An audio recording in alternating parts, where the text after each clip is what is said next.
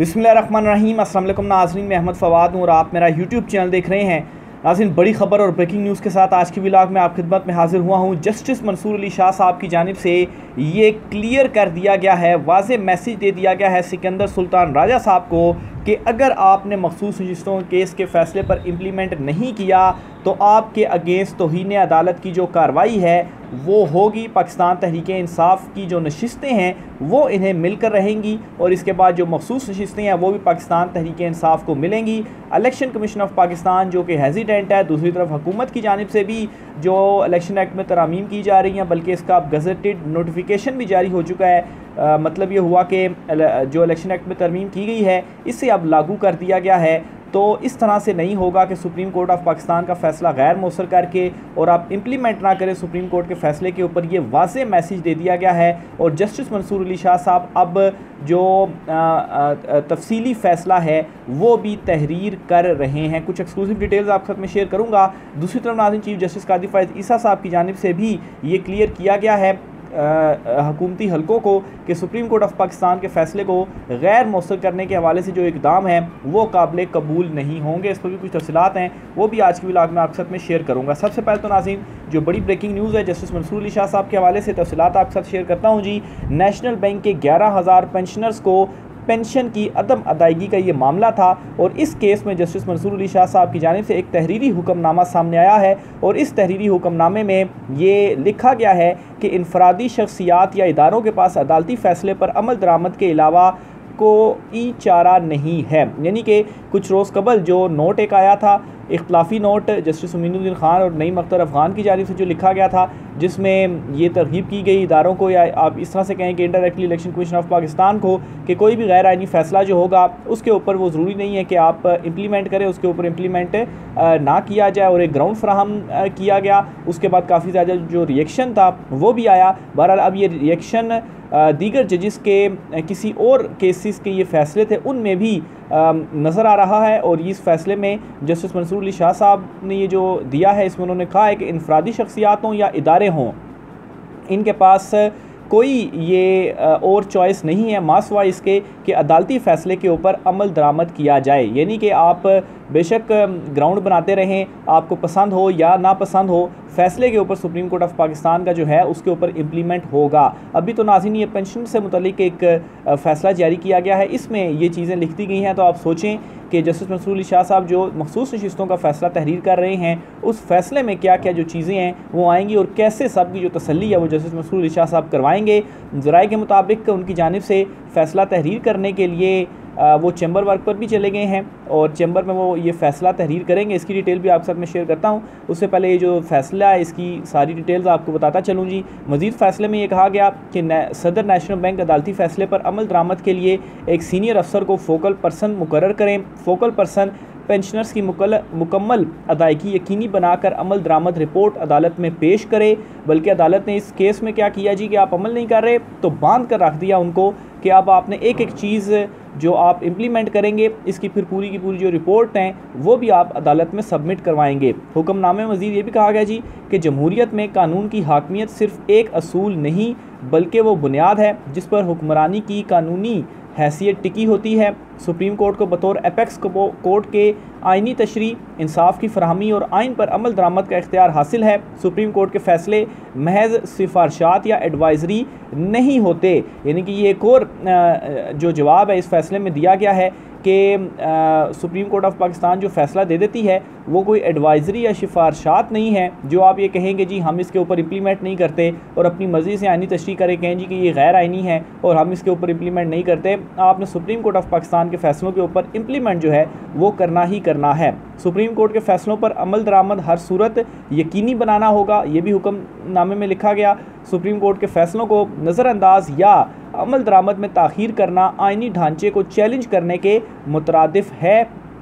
अदालती फ़ैसलों पर अमल दरामद करना कर्टसी नहीं, बल्कि आइन की मंशा है। अदालती फ़ैसलों पर अमल दरामद अदालती निज़ाम पर अवामी अतमाद बरकरार रखने के मुतरदफ है। तो ये जी जस्टिस मंसूर अली शाह साहब की जानब से क्लियर जो मैसेज है, क्लियर जो पैगाम है, वो दे दिया गया है कि अदालती फ़ैसलों के ऊपर इम्प्लीमेंट करना ही करना है और ये आइन की मंशा है। और अगर आप नहीं करेंगे तो फिर ज़ाहिर सी बात है अदालतें भी आइन कानून के मुताबिक जो आगे कार्रवाई है वो बढ़ाएँगी और तोहनी अदालत की जो कार्रवाई है वो भी फिर होगी। तो ये जो इख्तलाफी नोट एक जारी किया गया था, इसमें जो एक ये तरकीब दी गई थी, हो सकता था कि सिकंदर सुल्तान राजा साहब जो हैं, जिस तरीके से शुरू से ही उनका मूड नहीं था, बल्कि जब ये मखसूस रिश्तों का फ़ैसला आया था तो इलेक्शन कमीशन का ये आया था मौके कि जी हमारी समझ से ये बाला तर है आपकी समझ से बाला तर ही होगा क्योंकि आप तो शुरू दिन से ही जिस तरीके से बज़ाहिर सहूलतकारी कर रहे हैं, इस हकूमत जो जाली फार्म सैंतालीस, पैंतालीस जो जारी की और ये चुनतखब हुकूमत आई तो आपकी तो समझ से बालातर ही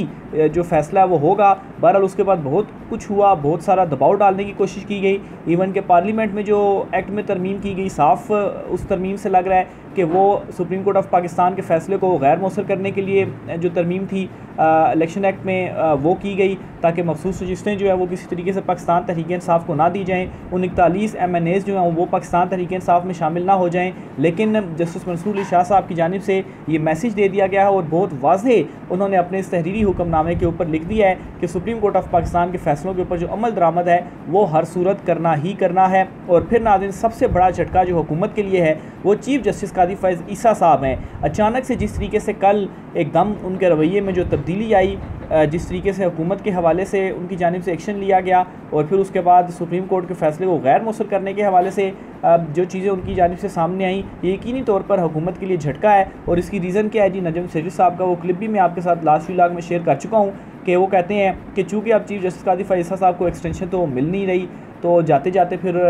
उन्होंने भी थोड़ी सी अपनी जो साख्त है वो बहाल करनी है और हो सकता है एक दो जो फ़ैसले हैं वो भी आ, कोई मुखालफत में वो दे दें। तो एक्सटेंशन नहीं मिल रही तो इसका मतलब यही है जी कि अपने टाइम पे रिटायर भी हो जाएँगे जस्टिस मंसूर अली शाह साहब चीफ जस्टिस होंगे तो इसलिए अभी मजीद मुखालफत करने का भी कोई फ़ायदा नहीं है। तो बहरहाल जी, ये सुप्रीम कोर्ट ऑफ़ पाकिस्तान से वाज एक जो मैसेज है, वो दे दिया गया है। इकतालीस एम एन एज़ हैं, उनका भी जल्द जो नोटिफिकेशन है, वो भी जारी हो जाएगा। दूसरी बड़ी खबर नाजिन जो आपके साथ शेयर करनी है, वो ये है कि जस्टिस मंसूर अली शाह साहब तेईस अगस्त तक चैम्बर वर्क पर चले गए हैं। ज़राए के मुताबिक चैम्बर वर्क के बाद जस्टिस मंसूर अली शाह साहब का छुट्टियों पर जाने का इम्कान है।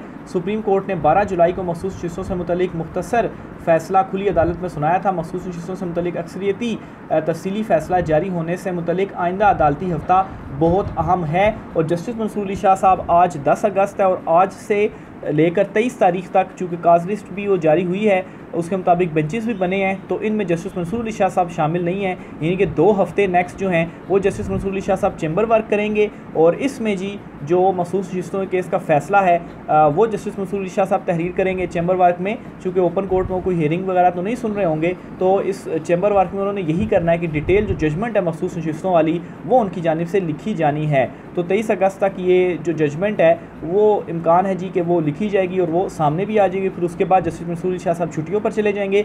दस सितंबर तक जो अदालती साल है जो अदालती छुट्टियाँ हैं, वो रहनी और फिर उसके बाद जो कोर्ट है, वो मुकम्मल हो जाएगी, क्योंकि अभी बीच बीच में कुछ जजेस छुट्टियों पर होते हैं, कुछ जजेस जो हैं, वो काम कर रहे हैं। बहरहाल जस्टिस मंसूर अली शाह साहब की जानब से चैम्बर वर्क पर जाने का मतलब ये है कि जो तफसीली फ़ैसला है मखसूस नशस्तों का, वो उनकी जानब से तहरीर कर दिया गया है और नेक्स्ट जो टू वीक्स हैं, वो बहुत इंपॉर्टेंट है मखसूस नशस्तों के केस के फ़ैसले के हवाले से। जो नेक्स्ट वीक का एक रोस्टर जारी किया गया है, जो बेंचेस तश्कील दिए गए हैं। उसकी डिटेल भी आपके साथ शेयर करता हूँ जी। सुप्रीम कोर्ट में 12 अगस्त से शुरू होने वाले अदालती हफ़्ते के लिए इस्लामाबाद रजिस्ट्रार में दो बेंचेस तश्कील दिए गए हैं। चीफ जस्टिस कादी फैज़ ईसा जस्टिस या अफरीदी और जस्टिस नई मख्तर अफ़गान पर मुश्तमिल बेंच जो है वो केसेस की समात करेगा। यानी कि ये बेंच वन बनाया गया और जस्टिस सरदार तारिक मसूद और जस्टिस मजहर आलम मियाँ खेल जो हैं, उन पर मुश्तमिल दो रुकनी बेंच होगा, जो कि एडहाक जजीज़ हैं ये दोनों, और आइंदा ये आइंदा हफ़्ते की केसेस की जो समात है वो ये दो बेंचेस की जानब से किया जा, की जाएँगी। एक तीन रुकनी बेंच है और एक दो रुकनी बेंच है। तो सुप्रीम कोर्ट ऑफ़ पाकिस्तान में यही दो बेंचेस बैठेंगे आइंदा दो हफ़्ते तक। तो बहरहाल जो छुट्टियाँ हैं, फिर जब ये कंप्लीट हो जाएँगी और फिर उसके बाद जस्टिस मंसूर अली जा, जाएँगे और 10 सितंबर तक ओवरऑल जजेस की जो छुट्टियाँ हैं, वो कंप्लीट हो जाएँगी। तो ये नाजिम सुप्रीम कोर्ट ऑफ़ पाकिस्तान से कुछ अपडेट्स थी। दो मजीद अहम तरीन खबरें आपके साथ मैं शेयर करता चलूँ। जी, शाह महमूद कुरेशी साहब जो हैं, उनकी जानब से काफ़ी अरसे के बाद बड़ा एक इंपॉर्टेंट बयान दिया गया है। इस बयान को आपके सामने रखता हूँ जी।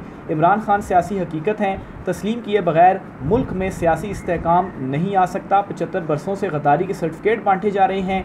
एक दूसरे को गद्दार गद्दार करना बंद होना चाहिए। महमूद अचक जई जमहूरी सोच रखने वाले शख्स हैं। तो ये शाह महमूद कुरैशी साहब की जानब से जो गुफ्तु है, कुछ वो की गई है। और बिल्कुल इसमें कोई शक नहीं है। इमरान खान साहब एक सियासी हकीकत हैं। और शाह महमूद कुरैशी साहब ने तो आज ये बात की है। बहरहाल जो इमरान खान साहब के मुखालफी हैं वो डील जो लेना चाहते हैं, वो भी इमरान खान साहब को अब मान भी रहे हैं। ना सिर्फ़ मान रहे हैं, बल्कि ओपनली वो इस बात का इकरार कर रहे हैं। राना सनाउल्ला के बयान आपके सामने हैं, ये वही राना सनाउल्ला हैं, जो फितना फितना कहकर इमरान खान को बुलाया करते थे और कहते थे जी कि इसका जो है वो ख़ात्मा करना पड़ेगा और ये करना पड़ेगा और वो करना पड़ेगा, वही राना सनाउल हैं, जो अब आकर ये बयान देते हैं इमरान खान साहब के हवाले से कि इमरान खान साहब के साथ हमारी कोई मेरी जो है वो कोई सियासी दुश्मनी नहीं है, बस एक इख्तलाफ है और इमरान खान साहब से गुजारिश है कि वो हमें जो डील है वो दे दें, क्योंकि इनको भी अब नज़र आ गया है कि इनकी जो हुकूमत है वो आज गई या कल गई। वो जो कहते थे ना कि रावी चैन ही चैन लिख रहा है तो रावी का जो चैन है वो इस वक्त बेचैन हो चुका है और जो हुकूमत है वो डागम डामक डोल हो चुकी है। किसी भी वक्त ये जो हुकूमत होगी आ, ये आ, गिर जाएगी। इमरान खान साहब ने तो दो महीने का जो अल्टीमेटम है आ, वो दिया है। बहरहाल जी ये इस हुकूमत की इस वक्त हालत है। कोशिश ये कर रहे हैं कि किसी तरीके से अपनी जो हुकूमत है उसको हम थोड़ा मज़ीद आगे की सीट लें। इमरान खान साहब से कोई जो डील है वो ले लें क्योंकि एक मरतबा इमरान खान बाहर आ गए। तो फिर जो हवाओं का रुख है वो सारे का सारा इमरान खान की तरफ़ ना सिर्फ़ तब्दील होगा बल्कि फिर उसके बाद इमरान खान को पकड़ना भी नामुमकिन होगा। एक मरतबा इमरान खान साहब बाहर आ गए तो ये भी मालूम है ताकतवर हल्कों को कि फिर दोबारा जेल में डालना इमरान खान साहब को बड़ा मुश्किल है। इमरान खान साहब के जो केसेस अदालतों में चल रहे हैं आइनों कानून के मुताबिक उनको आ, कुछ केसेस में रिलीफ भी मिल रहा है लेकिन बहुत सारे केसेस हैं इमरान खान साहब के ऊपर और किसी न किसी केस में गिरफ्तारी डाल दी जाती है उनकी भी और बुशरा बीबी की, क्योंकि अभी उन्हें जेल में रखना मकसूद है, लेकिन ज़्यादा देर तक ये जो सिलसिला है, वो नहीं चल सकता। अली मोहम्मद खान साहब की जानब से भी एक बयान दिया गया और वो कहते हैं कि सेम पेज पर ज़ोर तब दिया जाता है जब किताब के आखिरी सफ़ात नज़दीक हों। तो हुकूमत के हवाले से इन्होंने भी जो प्रडिक्शन है, वो कर दिया इससे पहले इमरान खान साहब, असद केसर साहब, उमर यूब साहब दो तीन महीने का ये कह चुके हैं कि दो तीन महीने के अंदर ये जो हुकूमत है इसने गिर जाना है। और कैसे गिर जाना है, ये इस पर भी मैं रोशनी डाल चुका हूँ कि चीफ जस्टिस कादी फाइज ईसा की जब रिटायरमेंट होगी, फार्म पैंतालीस के जो मामले हैं जब खुलेंगे, अदालतों में हैं और ट्रिब्यूनल्स को काम अभी करने नहीं दिया जा रहा। और छुट्टियाँ भी आ गई हैं अदालतों में तो जैसे ही ट्रिब्यूनल्स ओपन हो जाएँगे, उसके बाद जब आइनों कानून के मुताबिक फार्म सैंतालीस फार्म पैंतालीस के मामले को देखा जाएगा तो पाकिस्तान तहरीक साहब के पास जो सबूत हैं वो मौजूद हैं। अभी तक दूसरी तरफ़ से जो कोई फॉर्म पैंतालीस हैं वो तो सबमिट ही नहीं करवाए गए। उनका ख्याल था जी कि चैम्बर में अपनी मर्ज़ी के जज लगा कर तो रिलीफ जो है वो हासिल कर लिया जाएगा। लेकिन जब अदलिया ने मुदाखलत के हवाले से वो डट गई दबाव कबूल करने से उन्होंने इनकार कर दिया और आइन कानून के मुताबिक फ़ैसले दिए तो तब इनको आ, इनकी जो दौड़ें हैं वो लगी और ट्रिब्यूनल से भी इन्होंने भागने की कोशिश की। फिर चीफ जस्टिस काजी ईसा साहब का जो फ़ैसला था तो बहरहाल जस्टिस मंसूर अली शाह साहब के आने से ये नहीं होगा कि वो इमरान खान साहब को कोई बहुत बड़ा रिलीफ दे देंगे, जो आइन कानून के मुताबिक चीज़ें चलनी हैं, उस तरीके से चीज़ें चलेंगी। फार्म पैंतालीस का मामला आइन कानून के मुताबिक अदालतों में चलेगा। और चूँकि पाकिस्तान तहरीक इंसाफ के पास सबूत मौजूद हैं, ये सारी नशस्तें उनकी हैं तो उनको वापस मिलेंगी तो ऑटोमेटिकली जो हुकूमत है, वो किस तरह से कायम रह सकती है? हुकूमत ने गिरना ही गिरना है। सतारह या बीस नशस्तें नहीं बनती इस हुकूमत की, लेकिन चुनतखब होकर ये बैठे हुए हैं। तो अली मोहम्मद खान साहब जो हैं, उनकी जानब से भी ये मैसेज दे दिया गया है, और उन्होंने कहा है कि जब सेम पेज पर ज़ोर दिया जाता है तो जो किताब है उसका आखिरी जो सफ़ा है, वो नज़दीक होता है। शहबाज शरीफ को बतौर वज़र अजम जो है वो ये जचता नहीं है कि मातहत अफसर को कहे कि हम एक पेज पर हैं। आर्मी चीफ़ का इज़्ज़त और ज़िम्मेदारी वाला अहदा है। मुझे नहीं लगता कि कोई आर्मी चीफ़ वज़ी अजम को तरक्याती कामों से रोकता है। ये जी मोहम्मद खान साहब की जानब से कहा गया। उन्होंने मज़ीद ये कहा है जी कि आठ फरवरी को मुल्की तारीख का मुतनाज़ तरीन इलेक्शन हुआ। हुकूमत खुलम खुला तोहन अदालत कर रही है। पार्लियामेंट का काम मुल्की और अवामी मफाद के लिए कानून साजी करना होता है।